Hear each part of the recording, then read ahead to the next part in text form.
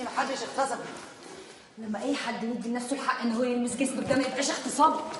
سيبك. حتى لو بلغتي المحضر هيتحفظ. مركز أبوكي ما يسمحش إنك أنت تعرضي لحاجة زي كده.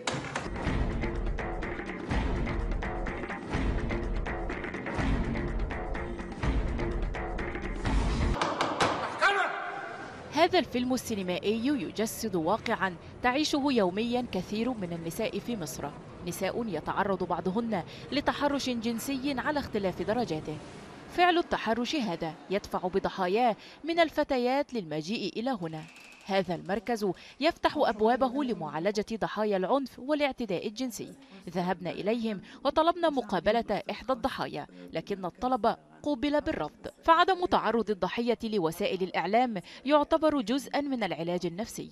مجموعة البنات اللي تعرضوا للتحرش في التحرير فكان أصعب ما فيها المطاردة بتاعت الصحافة اللي بصراحة دمرت لها حياتها. يعني آه، لأنه طبعا البنت يعني بقى في الناس كلها بقت عارفة ده منطقتها اللي هي عايشة فيها.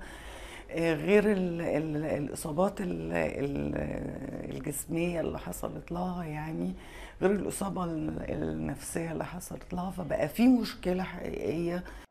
فمنذ الخامس والعشرين من يناير عام 2011 تصاعدت جرائم العنف الجنسي ضد المرأة نتيجة استغلال المتحرشين لمناطق التظاهرات وتحويل بعضها إلى ساحات للتحرش بالنساء. وربما جاء ذلك الفعل بشكل ممنهج لمحاولة ردع المتظاهرات عن المشاركة في الحياة السياسية برأي كثيرين. في ذكرى الثورة 25 يناير 2013 إجمالي الوقائع بلغت 24 حالة تحرش جماعي ده فيهم 25 يناير بس قبل وبعد مفيش إحصائية ثابتة وده كان يرجع للرقم ده لشغل آه، قوة ضد التحرش والاعتداء.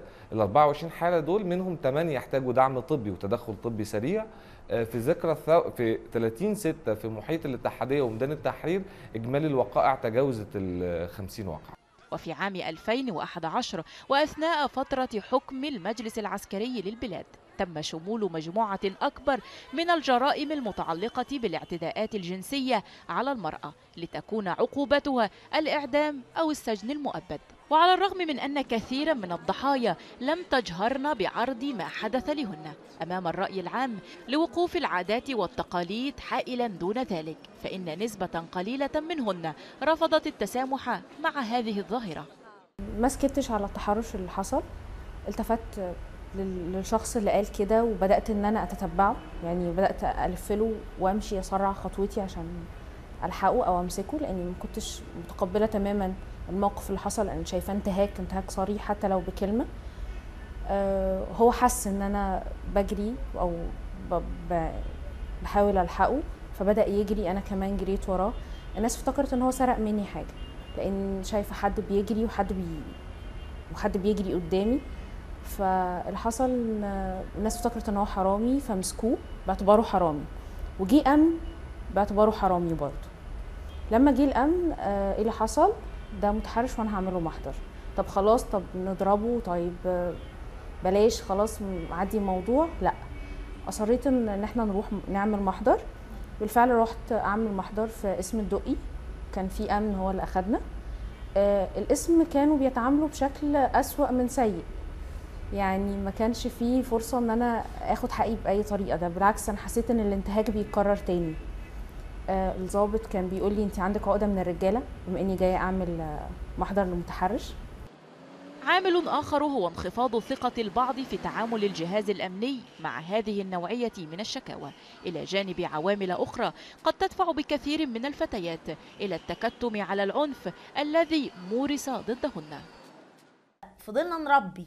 الذكر بشكل مختلف عن الأنثى ونربي فكرة أن جسد الأنثى هو بضاعة وهو آه، آه، يعني شيء آه، ما هوش عادي أو طبيعي فبالتالي يعني يا إما يغلف يا إما ينتهك. وال- واللي بتعمل ده هي المرأة الأم التي تربي هذه الأفكار. المسألة عبارة عن تحرش جماعي. وبحسب أرقام صادرة عن منظمات دولية ومحلية فإن نسبة ليست بالقليلة من نساء مصر يتعرضن للتحرش الجنسي. من هنا تصنف مصر كواحدة من أسوأ دول العالم في ممارسة العنف ضد المرأة. إلا أن ذلك لم يمنع كثيرا من النساء من ممارسة دورهن السياسي في تحد واضح لهذه الظاهرة. وتتعالى الأصوات المطالبة بضرورة أن تقوم الدولة بدور أكبر في التعامل مع هذه الظاهرة والقضاء عليها. دور الدولة كبير. آه، محتاجين إعادة آه، صياغة مناهج التربية والتعليم. محتاجين قانون يجرم التحرش الجنسي لأن مصر ما فيهاش أي قانون يتكلم عن العنف الجنسي خالص. حتى البنية التشريعية لم يرد فيها على الاطلاق كلمة تحرش. كمان عندنا مشكلة في دور الداخلية لأن الداخلية المفروض منوط بيها إنها عندها سلطة منع وسلطة ردع. الداخلية لما قررت تشتغل في الملف ده قالت هنعمل إدارة لمتابعة جرائم العنف تجاه المرأة وكأن إن الدولة هي اللي تتابع. طب ما منظمات المجتمع المدني والمبادرات بتتابع وبترصد وبتوثق. أنتوا إيه الجديد اللي هتقدموه؟ أنتوا اللي عندكم ميزانية؟ أنتوا اللي عندكم أفراد؟ أنتوا اللي متواجدين في الشوارع؟ مفيش أي حاجة. ولم تتخاذل المرأة المصرية عن المشاركة في كافة الاستحقاقات الانتخابية التي أعقبت الخامس والعشرين من يناير. على مكاسب سياسية تتحقق بما يعوض الثمن الذي دفعته في صورة عنف مورس ضدها. وفي الوقت ذاته تستمر مطالب العديد من المنظمات الحقوقية للقضاء على كافة أشكال العنف ضد النساء. هذه الزجاجة المعبأة بغاز خانق تستخدمها كثير من النساء للدفاع عن أنفسهن في مواجهة المتحرشين بالطريق العام.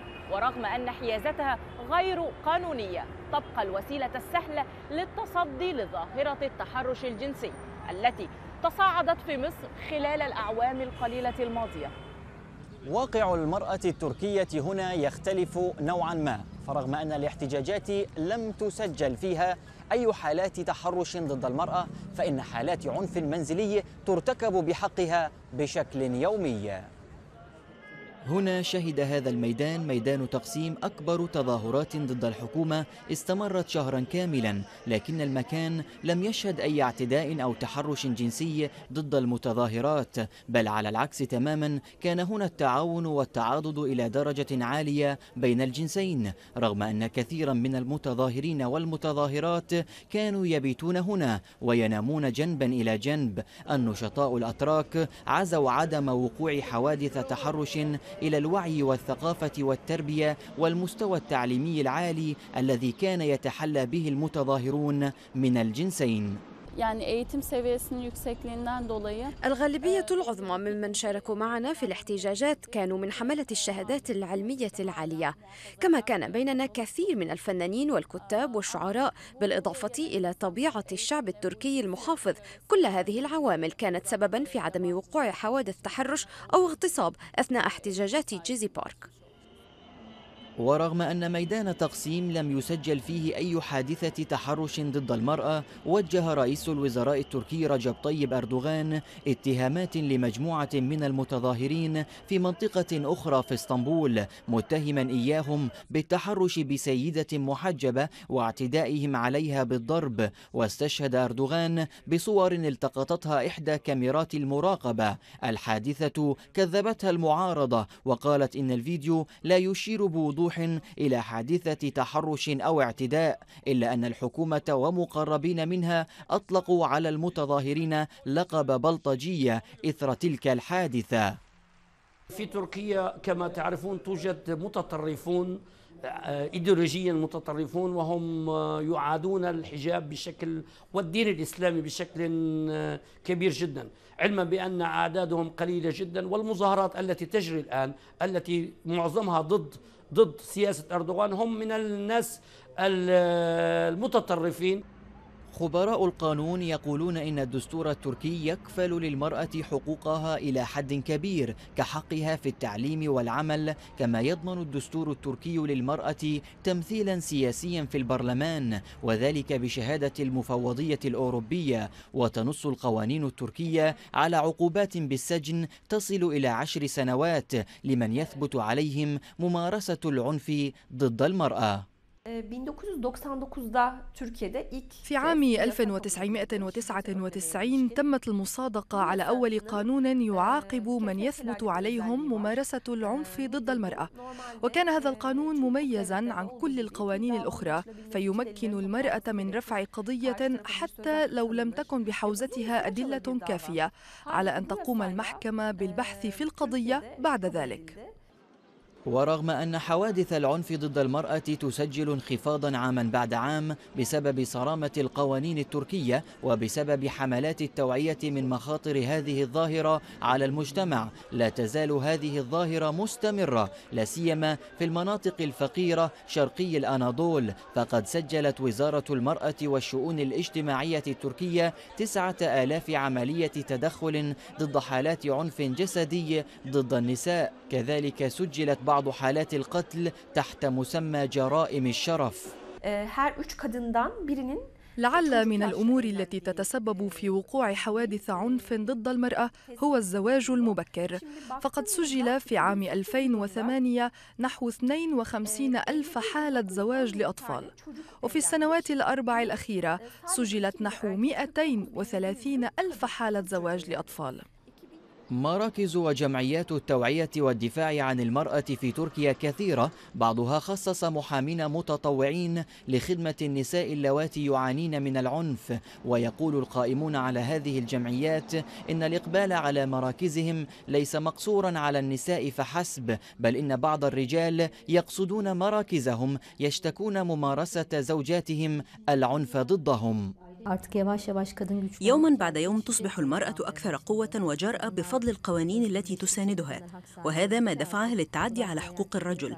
لكن من وجهة نظري أرى الخلل في التعليم والأخلاق والتربية لدى هذا الصنف من النساء.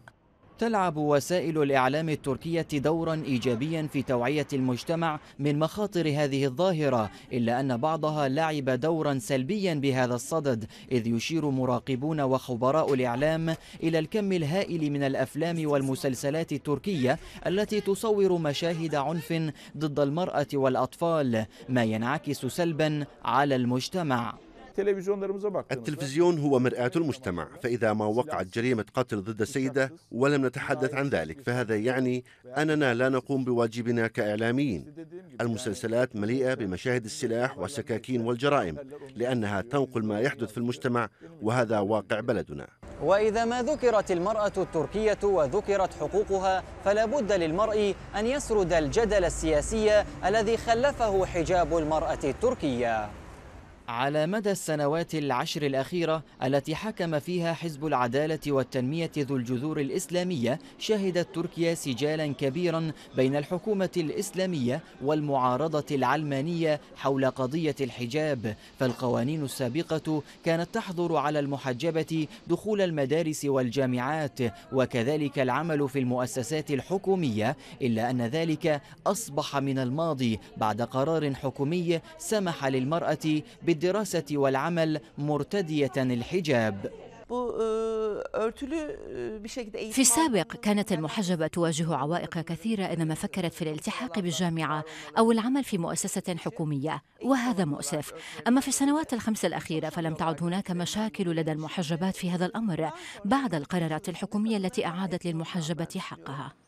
المرأة التركية حققت الكثير من مطالبها الحقوقية من خلال القانون التركي ودور المؤسسات النسوية المدافعة عن حقوقها لكن حالات عنف ضدها لا تزال تسجل يوميا. مهران عيسى سكاي نيوز عربية إسطنبول.